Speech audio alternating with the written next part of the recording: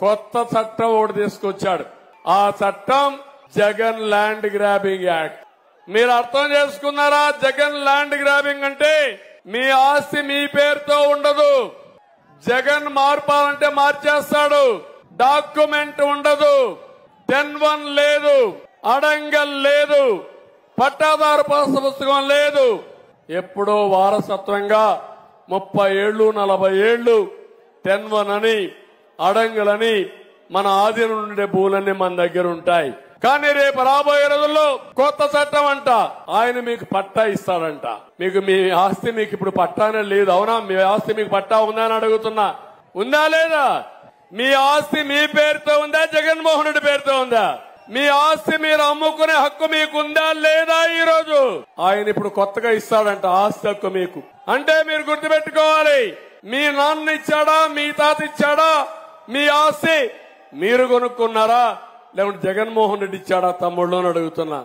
ఈరోజు జగన్మోహన్ రెడ్డి మీ ఆస్తి మీద ఆయన ఫోటో వేసుకుంటాడు. అంటే ఏంటి? మీ ఆస్తికి ఆయన ఏదో దానం చేసినట్టు నిద్రలే చూసుకొని మీరు ఆనందపడాలి. దాన కర్ణుడు మీకు ఆస్తి ఇచ్చాడని ఆయన ఫోటో తీసుకొని పూజ చేసి మీరు ఇచ్చేయాల ఇది న్యాయమా అని అడుగుతున్నా మిమ్మల్ని అందరినీ. ఇది సైకో నేచర్ అవునా కాదా అని అడుగుతున్నా. నేను అందుకే మీ అందరికి ఒకటి హామీ ఇస్తున్నా. జగన్ ల్యాండ్ గ్రాబింగ్ యాక్ట్ రావడానికి వీలు లేదు. నేను వస్తానే. మొదటి సంతకం డిఎస్సి పైన పెడతా. రెండో సంతకం జగన్ ల్యాండ్ గ్రాబింగ్ యాక్ట్ రద్దు చేస్తానని మీ అందరికి హామీ ఇస్తున్నా. ఒక ఆధార్ కార్డు రావడానికే దేశంలో దశాబ్దం పాటు వాదోపవాదాలు జరిగినాయి. అలాంటిది land titling act land grabbing act ఇది. మీ భూముల్ని దోచేసే చట్టం ఇది. నీ సొంతదారుల హక్కుని తీసేసే చట్టం ఇది. దాని గురించి ఒక్క మాట మాట్లాడాల. కొత్త చట్టం ప్రకారం మన దగ్గర ఉన్నటువంటి ఆస్తి. గవర్నమెంట్ రెవెన్యూ ఆఫీస్లో ఉంటుందంట. రెవెన్యూ ఆఫీస్లో కూడా ఎంఆర్ఓ దాని గురించి పై అధికారం వాడి దగ్గర ఉంటుందంట. ఆ వ్యక్తి దగ్గర ఉంటే మనం వెళ్ళి ఆ ఆస్తి నాదని ప్రూవ్ చేసుకోవాలంట తొంభై రోజుల్లో. మళ్ళీ నాదని ప్రూవ్ చేసుకోకపోతే ఎవడో పట్టుకెళ్ళిపోతాడు. ఇక్కడ ఉండే స్థానిక ఎమ్మెల్యే దోలెక్కిన ఎమ్మెల్యే లాంటి వాడు ఎలా పట్టుకెళ్ళిపోతాడు? కోర్టులకు వెళ్ళడానికి లేదు. పోలీస్ స్టేషన్కి వెళ్ళడానికి లేదు. కోర్టులకు వెళ్ళడానికి లేదు. కోర్టుకి వెళ్తే హైకోర్టుకి వెళ్ళాలంట. అరే రెండు ఎకరాలు ఉన్న భూమి ఎకరం ఉన్న భూమి ఒక వంద గజాలున్న ఒక ఇల్లు ఓనరు హైకోర్టుకి వెళ్తాడు. మనకి కర్నూలులోనో లేదంటే అమరావతిలోనో హైకోర్టుకి వెళ్ళగలడా? ఇదంతా కూర్చొని ఇక్కడ కూర్చొని రెవెన్యూ ఆఫీసులో సెటిల్ చేస్తారంట. రెవెన్యూ ఆఫీసులో ప్రభుత్వం కదా ఉండేది. ప్రభుత్వం తాలూకు వ్యక్తులు కూర్చుంటే ఎంతసేపు మన ఆస్తులను కబ్జా పెట్టడానికి? సో అందుకని జాగ్రత్త. మీరు కనుక వైసీపీకి ఓటేస్తే గాల్లో పెట్టిన దీపమే మీ ఆస్తులు. అసలు చంద్రబాబు నాయుడు అడుగుతా ఉన్నా అయ్యా అసలు నీకు ల్యాండ్ టైటిలింగ్ యాక్ట్ అంటే ఏమిటో తెలుసా చంద్రబాబు అని అడుగుతా ఉన్నా?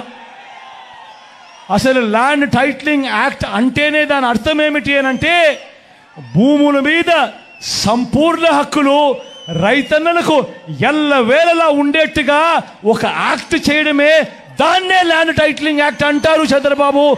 ఫస్ట్ అది తెలుసుకో అని అడుగుతా ఉన్నా. ఇవాళ ఇదే పెద్ద మనిషి చంద్రబాబు నాయుడు గారు చేస్తా ఉన్న తప్పుడు ప్రచారాలకు ప్రతి ఒక్కరికి తెలిసి ఉండాలి కాబట్టి ఈరోజు మీ అందరితో కూడా ఒక రెండు నిమిషాలు దాని గురించి చెబుతా. ఈ ల్యాండ్ టైటిలింగ్ యాక్ట్ అన్నది రాబోయే రోజుల్లో ఒక పెద్ద సంస్కరణ అవుతుంది. ఎందుకనంటే ఈరోజు ఏ భూమి ఎక్కడ కొనాలనుకున్నా కూడా ఆ భూములన్నిటిలో కూడా ఈరోజు వివాదాలు ఉన్నాయి ఆ భూముల్లో ఎక్స్టెంట్ అన్నా తక్కువ ఉంటుంది సబ్ డివిజన్ అన్నా జరగకపోయి ఉంటుంది సర్వేలన్నా జరగకపోయి ఉంటాయి రికార్డులన్నీ అప్డేట్ కాకపోయి ఉంటాయి.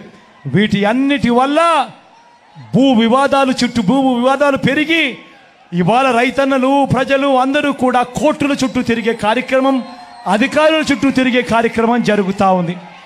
మీ బిడ్డ రాబోయే రోజుల్లో చేయాలనుకునే సంస్కరణ ఏమిటి అంటే ఏ రైతన్నా కూడా ఏ ఒక్కరు అయినా కూడా వాళ్ళ భూముల కోసము ఎవరి చుట్టూ తిరగాల్సిన పని ఉండకూడదు.